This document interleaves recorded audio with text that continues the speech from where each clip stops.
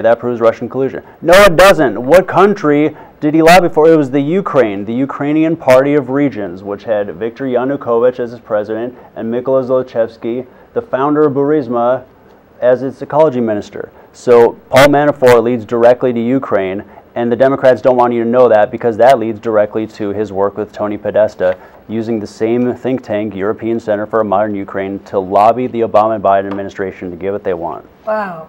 I mean, somebody that can figure that out. I don't. Most of us can't figure out uh, what we did yesterday, but but you seem to go into a deeper. You, you, always go into. That's why I enjoy you on my show, Joe, because um, you think the you just don't get what you know what they're giving in the media or they're telling us. You you always go a step deeper you always think a lot deeper than most people.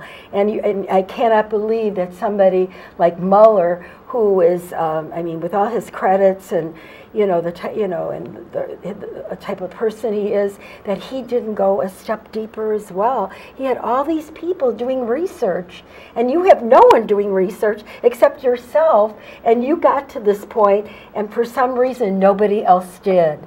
And I think if somebody else did, maybe they were afraid to say something, I don't know, or they were hushed up, or, you know, we don't know what happened. Yeah, and Mueller I, probably had people he wanted to protect. Again, it's six American political families on both sides, so odds are he's friends with one of them. And I'll add, he doesn't have the greatest reputation. He is one of the people who sold us into the Iraq war with lies. Oh my goodness! And how and you and you figured that out by doing your own research? That's not through my own research. Um, I, there was a clip of him. Um, I think he was speaking to. I don't know if it was the UN or Congress. Uh, but anyway, yeah. um, that's another thought, and I think um, I'm getting direction that we have to wrap.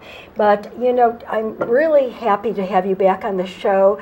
Uh, you're my political expert uh, because you seem to know more than anybody else, and I always appreciate where your thoughts are. You know, I mean, these are you know, I mean, some of the things are things you know, we'll have to go into deeper where you get some of these things, and maybe you can teach some of us how to how to do it ourselves. So we can't depend on everything. We can't depend on everything that the news is telling us because you know they all they all have.